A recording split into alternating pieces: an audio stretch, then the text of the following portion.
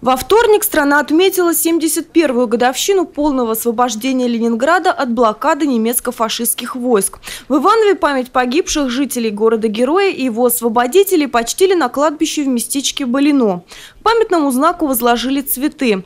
Напомним, что тысячи ивановцев принимали участие в боях за Ленинград. Наш регион принял более 30 тысяч жителей, эвакуированных из блокадного города. Сейчас в губернии осталось всего 126 ветеранов ленинградцев. В качестве социальной поддержки они ежемесячно получают полторы тысячи рублей, денежную выплату на оплату ЖКХ, плюс набор различных социальных услуг. Самое главное не в этой материальной помощи, а в память об этом великом подвиге. Это важно особенно сегодня, когда ряд политиков западных пытаются замахнуться за свято, на, свято, на святое, на подвиг советского народа в этой убийственной войне.